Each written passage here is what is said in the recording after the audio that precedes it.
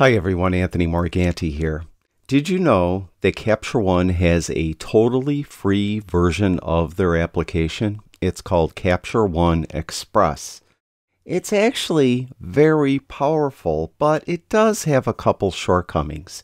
In today's video, I'm going to go over everything you need to know about Capture One Express.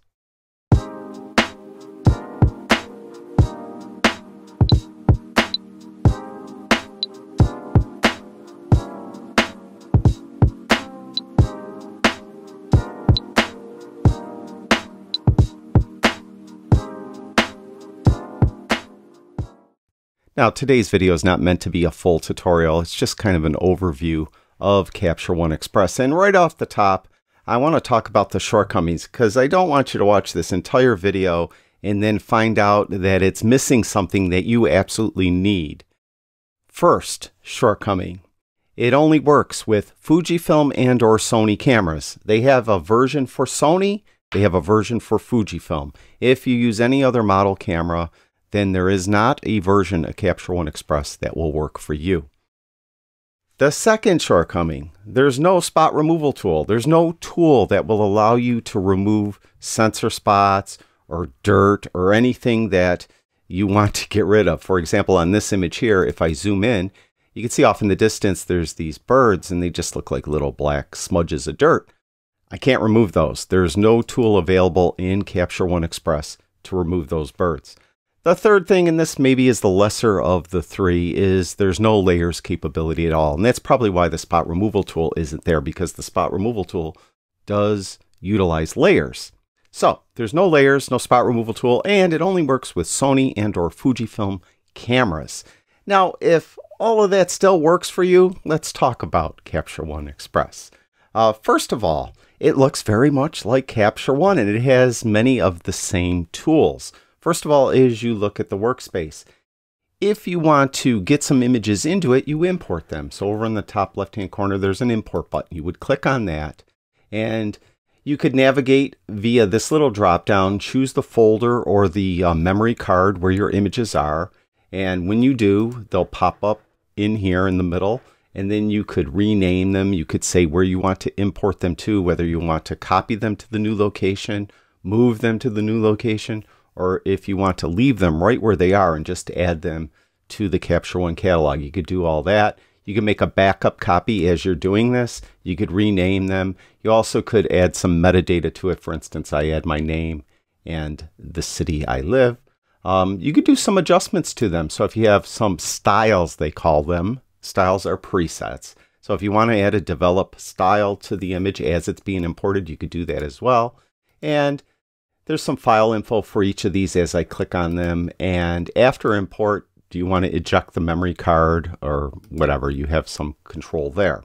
So once you get these images into Capture One and you navigate to the folder via this group over here, along here, along the top groups, and I'll go over these in a moment, you can see that the far left group is my library. This is my Capture One library. And from here, I could go to the group of images or the folder of images that I just imported or ones that I imported prior. And I'm able to give them star ratings or color labels. And I could add keywords and things like that to them all in this group. They show up on the bottom along the film strip and you could click through them from there. And then it has a number of tools, a number of tools that are common to the full version of Capture One. And these tools aren't watered down at all. It's just missing some things.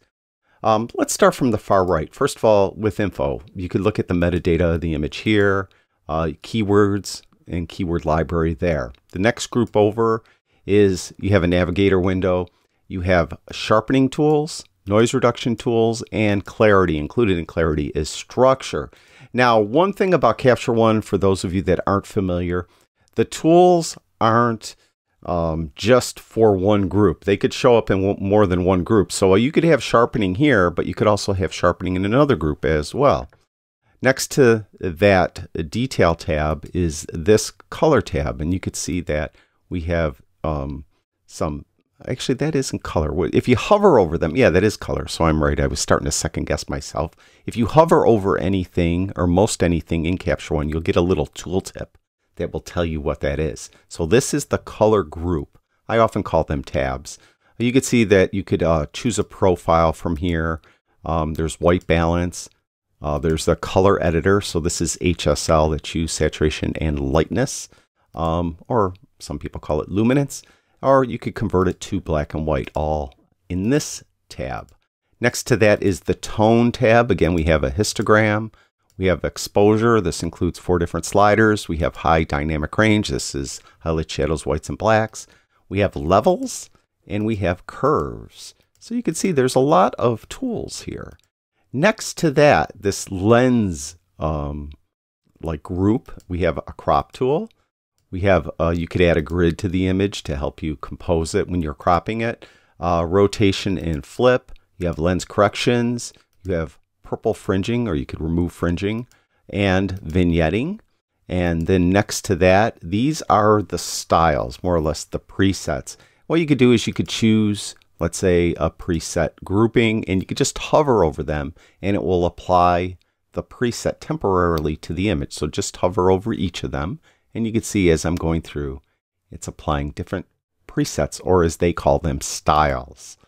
Next to that is Q. This is the quick group. Uh, this is where uh, most of the more common tools used are all grouped together. So most often you'll probably import your images and jump right to the Q group and you'll see there's white balance, exposure, high dynamic range, clarity, sharpening, crop, and rotation and flip. These are the tools you most often would use. And next to that is, we talked about that, this is your library. So there's where all the images are and I can navigate to where they are from there. Now let's stay in this Q group and let's actually process an image. I have one picked out here. This is an unprocessed uh, Fujifilm RAW file. It was shot with an X-T4. Now, um, I will start with the Q group. I'm not going to do anything with the histogram or white balance right away. Uh, what I will do, I'm going to jump down to high dynamic range. Again, you don't have to go in order. You could jump around. I'm going to, because it's so dark, I obviously expose for the sky. I'm going to open up the shadow. So I'll move that to the right and see where we stand once I do that. Now, it looks pretty decent. Now we'll bring down the highlights a little bit. Now I'm going to get a white or black point. What you could do is you could turn on the exposure warnings. They're right here. Turn those on. Then what it will happen is if you, let's say, move your white slider too far to the right, you'll start to get some red come in. You can see the red there. Let me turn up exposure a little more so you can see what I'm talking about. See that red come in? That means I'm clipping the highlights or click, clipping the whites. That means if I print it, uh, there's no ink put down on the paper at all. So there's no detail in those areas. So typically what you would like to do is not clip the highlights. So you would then bring the white slider down just to the point where it's not clipping anymore. Similarly, when you take the black slider and if you move it down and you start to go too far, you'll start to clip those shadows and you'll get blue uh, showing up. Now, if you print this, you'll just get black ink uh, put down on the paper and there won't be any detail. So you may want to back that off as well. Now, just one thing I'll say is just remember to turn those off because it may bother you later on when you get that red and black or blue coming on the image. So you could just turn that off when you're done. Uh, so I did that. Uh, let's maybe add a little contrast. The brightness control is really a mid-tone brightness control. That's really what it does. If you move it to the right, it will make your mid-tones brighter, but it won't affect the highlights or the shadows as much. Especially if you move it to the left, it won't affect the shadows as much. So you could use that to move the mid-tones around. Saturation is right here, so we could increase the saturation.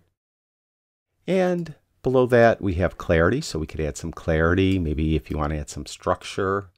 Below that is sharpening, and we could add some sharpening like that. No, it's just a simple landscape image. It doesn't need to be super sharp. If I wanted to crop it, I could do so here, or I could go up to the top. Along the top is a little bit uh, tool well.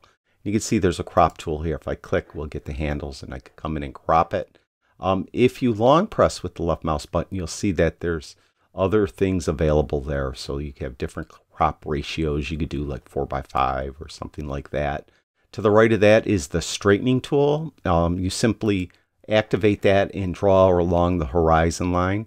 or if you have something that should be totally vertical or perfectly vertical in the image, you could draw along that vertically and it will straighten the image. Again, if you long press with the left mouse button, you could see that you could rotate it freehand and rotate left, rotate right as well. Um, to the right of that is white balance. So this allows you to pick a white balance and you can see there's other tools there as well.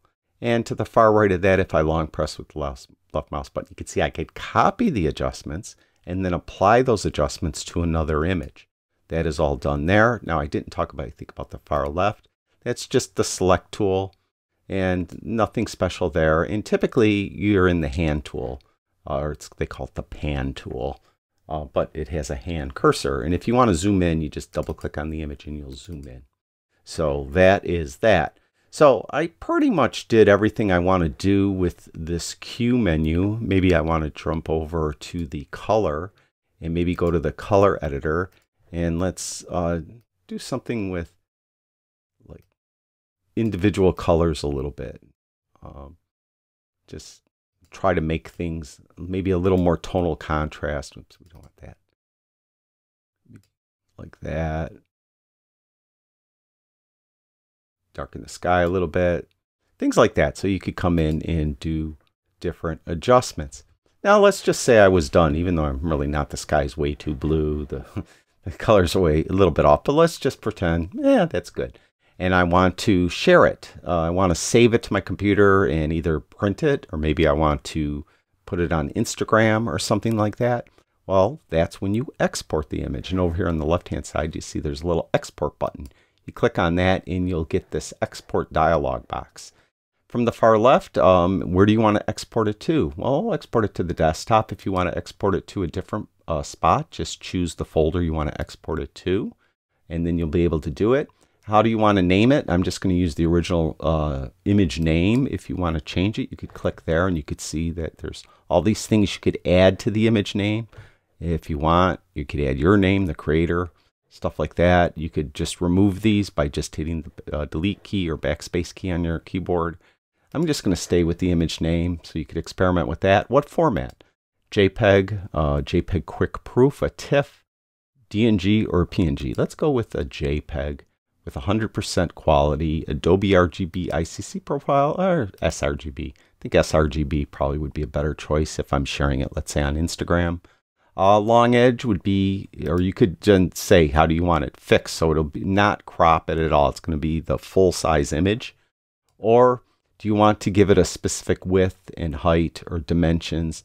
Uh, in this case, I like using the long edge. And since I mentioned I'm going to save it to Instagram or you know, end up posting it to Instagram, I'm going to use 1080 pixels because that's what Instagram likes.